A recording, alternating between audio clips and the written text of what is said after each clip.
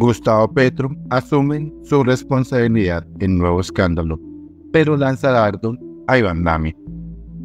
El presidente de Colombia se refirió al presidente del Senado, quien fue nombrado en el escándalo de sobornos en compra de carrotarques para La Guajira.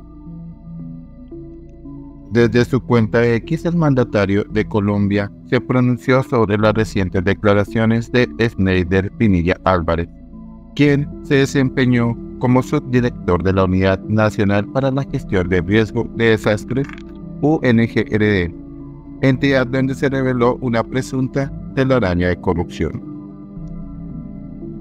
Pinilla, en su confesión involucró a varios senadores de diferentes partidos políticos y a funcionarios del gobierno de Gustavo Petro, que habrían recibido sobornos para la adjudicación de un contrato.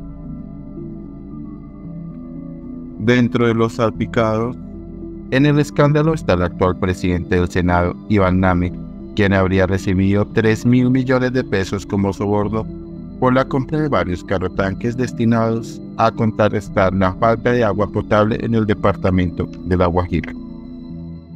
Ante los hechos, Petro aseguró que Nami no ha apoyado sus iniciativas y que fue nombrado por la oposición en su actual cargo en el Senado.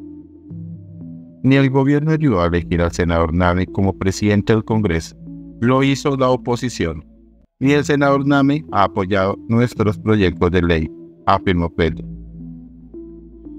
Gustavo Petro admitió su error al nombrar a exdirector de la UNGRE el mandatario reconoció su responsabilidad con el nombramiento de Olmedo López, quien se desempeñó como director de la UNGRD hasta que estalló el escándalo.